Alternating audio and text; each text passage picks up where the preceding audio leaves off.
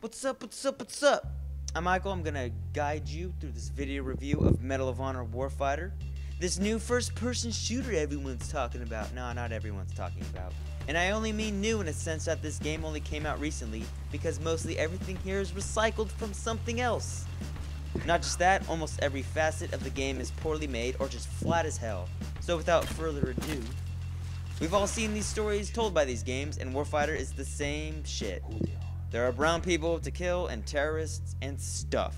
That's basically what this synopsis should say. Terrorists and stuff also included indistinguishable white bearded men. It's told in a supremely shoddy way, and you can't muster any spirit to care about it. It's so poorly told with such flat subject matter. They try to throw in an emotional anchor in the form of family, but that comes off as a sloppy attempt at emotion. Not only are they horribly disfigured,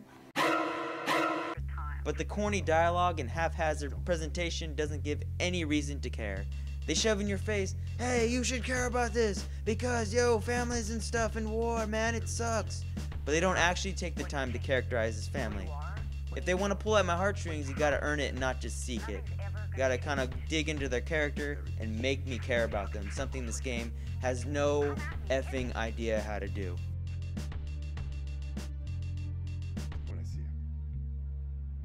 When you play the actual game, you will be similarly appalled. It just isn't finished.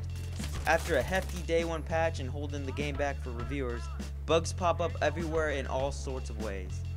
Guns will just float in midair, bodies just disappear for no reason, scripting will just break, which is extremely frustrating, and other oddities will just happen. However, the AI is similarly brain dead, so they could just be functioning normally. They fail to kill any sort of enemies, they just stand behind cover doing nothing, except they'll get in your way and complain when you shoot them in the ass, and always fire stupidly at nothing. For example, there was there was one guy left, I could not find him because the game was so dark, and they literally were firing for like 10 minutes at nothing. It just feels unfinished and rushed, to probably, let's be honest, be Call of Duty out the door. Actually, shooting is competent, but not even that as tight as it should be. You literally cannot drop the weapon you start out with.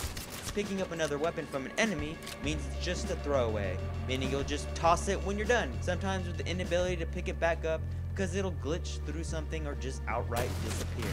This is easily the most controlling weapon system that has ever been created and becomes such a stupid decision the more you play it. Well, honestly, that won't be for that long because the game's only about 5 hours, which is a little bit shorter than the average of these games, so take from that what you will. I wanted it to be over, so maybe the 5 hours is a blessing. If it isn't outright bad, it's just boring or uninspired.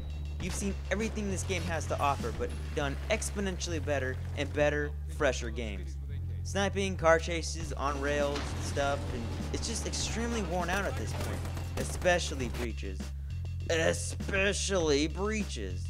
You do them so many times, and the game actually asks you for a different animation for the same thing. It's almost as if Danger Close knows how many times you do it, so I can't imagine why they left it in there and made you do it so many times. Not only is it derivative as hell from other games, it starts becoming derivative and boring from itself. The door, the 4-4. All you heard was Papa, don't hit me no. The multiplayer is, however, some sort of a decent distraction. It's got all the familiar modes and leveling that we've all seen, but at least it isn't broken or busted. It's probably not going to be more than a distraction because it isn't as tight as probably your favorite multiplayer games, but given the rest of the game, it's at least something halfway positive to say about it. I did kind of enjoy my time with the multiplayer, and it, it does look pretty cool, but I can't see it, it being more than just that, a distraction. However, the game consistently does look great though.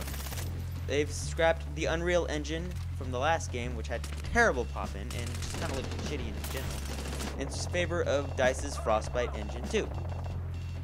It gives the game a phenomenally better look. Colors pop more, even the browns, and even the lighting really sells how good the game looks and performs. That's about the most consistently good thing I can say about Medal of Honor, Warfighter. I don't know why this title exists. This genre is so tired and so worn, so it could have been doomed from the start, but if it was at least made well or average or polished, it would probably stick out more. It couldn't even do that. So not only is it forgettable, it's a poorly made forgettable experience. Dishonorable discharge for this one. I give this game a 5 out of 10, and I cut, you know, That's probably being nice, but I really don't think people should play this game. You've played this game a million times.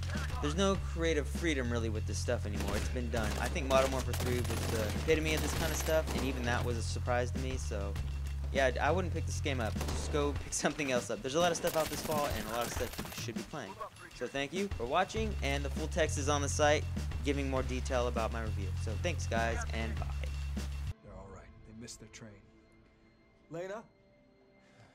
They missed their train. Daddy? Daddy? Uh. Bella. Huh? Daddy? 嗯。